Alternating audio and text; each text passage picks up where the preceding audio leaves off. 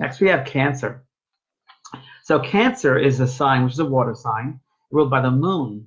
And Cancer is, when you think of Cancer, I always think of the crab Cancer because it's that, it looks like the crab walking around on the beach. It has a hard shell on the outside and the soft meat on the inside.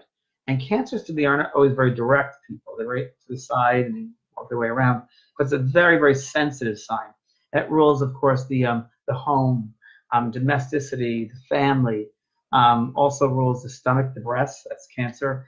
And Cancers um, have to really their major karmic lesson in love is overcoming insecurities and feelings that they're not understood. That's gonna how they're gonna find love. Getting over their insecurities and feeling that they're not worthy of love. That's really what it's about. Um, when they're in love, they got to be very careful that they don't smother their partner because they're so in love they want to smother them. So just like the crab. So you need to just um, not feel so insecure and just love yourself more than anybody else could. And I, they love to nurture, so we're going to nurture their, their love, lovers. That's the way they will. They'll do that.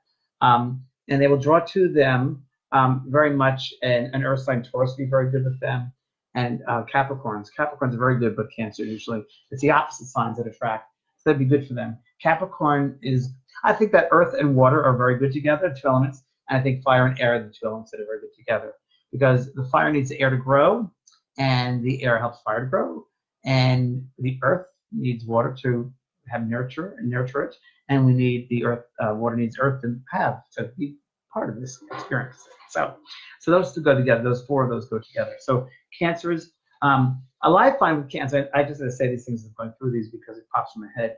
So cancer in love also, it opens up a whole bag of stuff about their childhood.